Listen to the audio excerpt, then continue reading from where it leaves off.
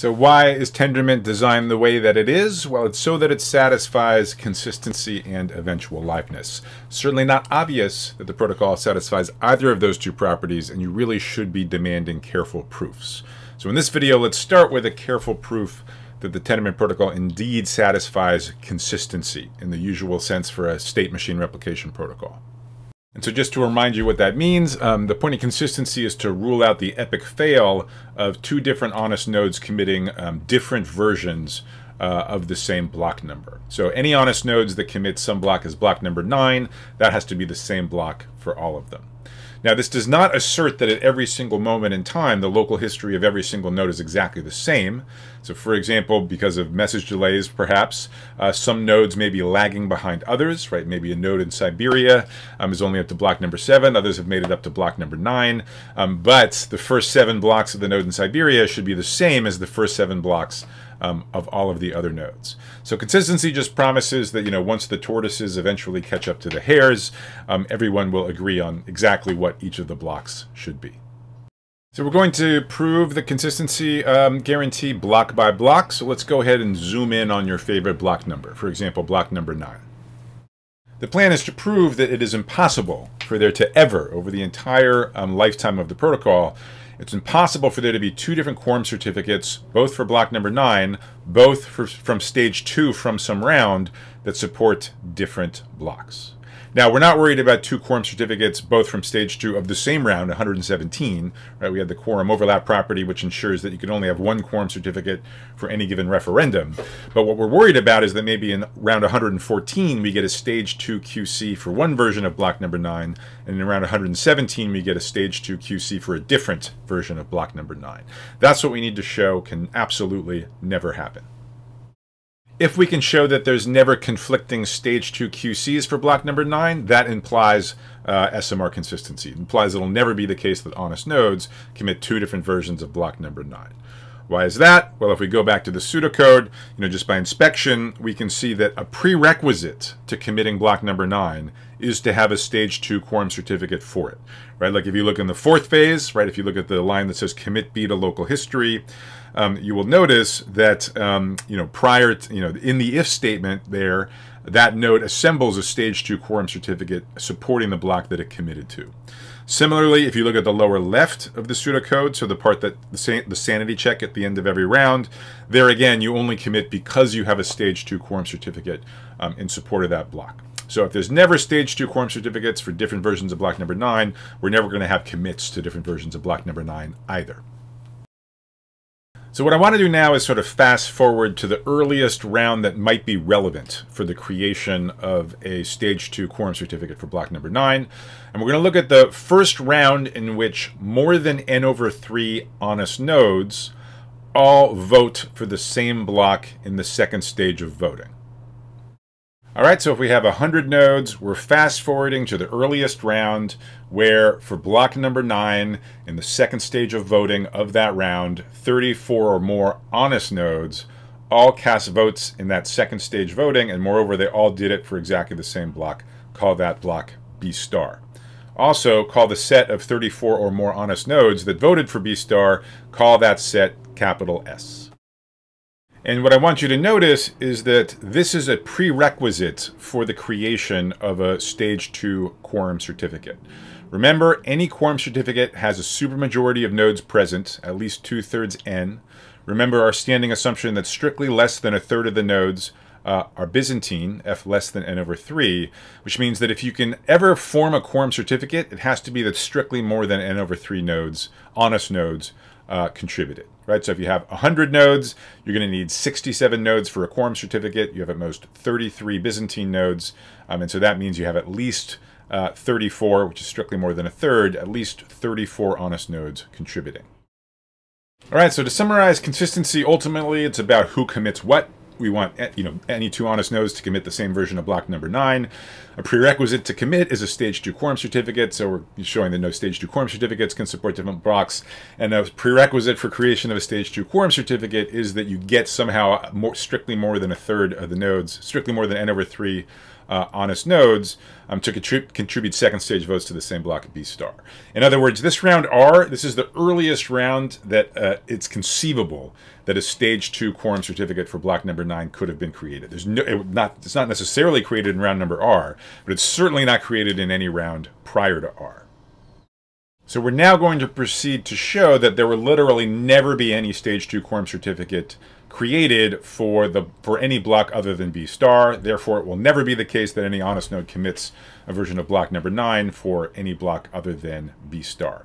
You might be worried that sort of nobody ever commits any block ever, but that's really the responsibility of the liveness proof um, that we'll uh, argue in the next video. Okay, so for now we're just trying to argue that you never have um, commits to conflicting blocks.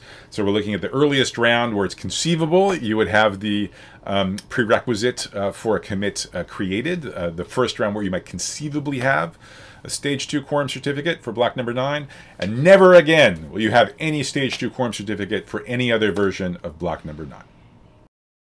So for the intuition of why that's true, let's let's have a look at the um, pseudocode. And um, you know, consider any node that that casts a second stage vote for some block. Okay, so we're looking at the upper right part of the pseudocode. We're looking at the third phase. Um, you know, th that's the line where a node would broadcast a, a stage two vote for a block. And a prerequisite for doing so is to witness firsthand a successful outcome of the referendum in the previous phase, the first stage of voting, right? So the only way that you will actually vote, cast a second stage vote, is if you um, yourself saw a supermajority of support from the first stage, all supporting the same block, capital B. And um, the point is, if you do that, if you actually um, get sufficiently convinced to cast a second stage vote, you're not going to commit yet, right? You wouldn't commit until the fourth phase, seeing yet another stage of successful voting. But you do kind of lock in on the block capital B, right? So if you look in that third phase, the pseudocode, certainly at that point, you update your local variable B sub i, you update it to the block B that you just voted for. And that node is not going to change its mind about which block it's supporting. It's not going to update its B sub i variable unless it is confronted with a strictly more recent quorum certificate, possibly supporting some other block. Okay, so that's the first key point. Any honest node that casts a second stage vote, it's going to keep supporting that same block. It's not going to be voting for any other blocks. It's going to keep supporting that same block unless it's confronted with a more recent quorum certificate. Okay, so that's the first point. Second point is that actually we know that not just like one honest node cast a second stage vote uh, for the block B star, we know that a bunch of them did. Okay, that set capital S is strictly more than n over 3 honest nodes. So that's strictly more than n over 3 nodes that are never going to vote for anything other than B star until they're confronted with a quorum certificate that's newer than the one that they uh, that's newer. Now, you have more than a third of the nodes never willing to vote for any other block. So you'll never have a supermajority of support for any other block. You're never going to be able to assemble the two-thirds that you need to actually create that more recent quorum certificate and go back to those nodes to change their mind. So once you have such a big set of honest nodes, more than n over 3 honest nodes who have cast those second stage votes, at that point, uh, you know, the rest is a foregone conclusion. There's no hope of ever producing any quorum certificate, stage one, stage two, whatever, any quorum certificate for any block um, other than B star for block number nine ever again.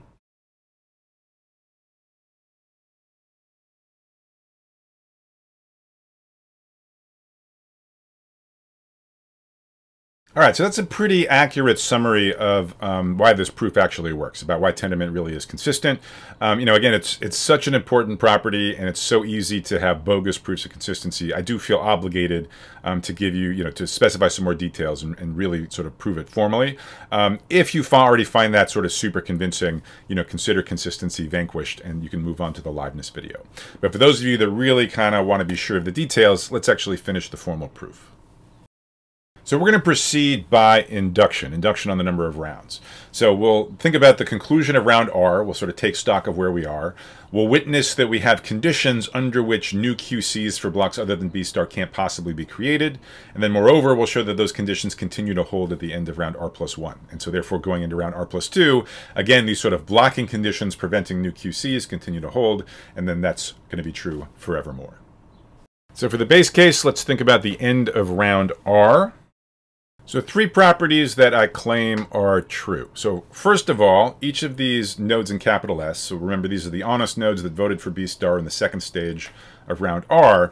Each of these nodes in S, uh, they are locked in on the block B star. That is their local variable B sub i is set to B star. We can observe that that's true just by looking at the pseudocode right? So if we look at sort of, you know, so we're thinking about a node that cast a second stage vote in the third phase in the upper right. Obviously, in the line right before that, it set its local, it updated its local variable to whatever it voted for. So in our case, it's updating its lo local variable uh, to B star. Uh, and then we want to argue that this node i does not update, update it again um, in the rest of the round. Moving on to the fourth phase, where we have to check that none of these nodes in capital S have their local variable reset to something other than, than B star. Um, and so here the, the thing to notice is just that there's no way for this if statement to get triggered for any block other than B star. Right? We've got more than n over 3 nodes, all of them honest, who voted for B star. They only voted once, so in particular they didn't vote for any other block other than B star, and there were more than n over 3 of them, which means you will have less, strictly less than a supermajority, strictly less than two-thirds n votes for any block other than B star. Okay, so the only possible things that can happen in the fourth phase Either, you know, the if statement is triggered, but for B star, in which case, of course, the nodes of capital S will have their local variables, they'll still be equal to B star. Um, or the if statement won't be triggered at all, in which case, obviously, those nodes will also not be updating their local variables B sub i. Okay, so it's going to still be true at the end of the fourth phase that all of the nodes of capital S have their local variables set to B star. The final thing you might be worried about is kind of the sanity check that takes place at the very end of round R, where you know nodes are sort of sort of catching up with any stage two QCs they've pocketed in the past. But remember, we intentionally fast forwarded to round little r, which was the first round where it's even conceivable that anyone could have come up with a stage two quorum certificate for block number nine. Okay, so if there's a stage two quorum certificate for block number nine, it must have been created in this round right here. It must have been created, therefore, in the fourth phase of this round. And as we argued, the only possibility then would be that it would be equal to B star. So the second property, which is true at the end of round R, not only does every node of capital S have its local variable set to B star, but it also has its local QC variable set to a fairly recent quorum certificate. A quorum certificate that is no less recent than stage one of the present round, of round R.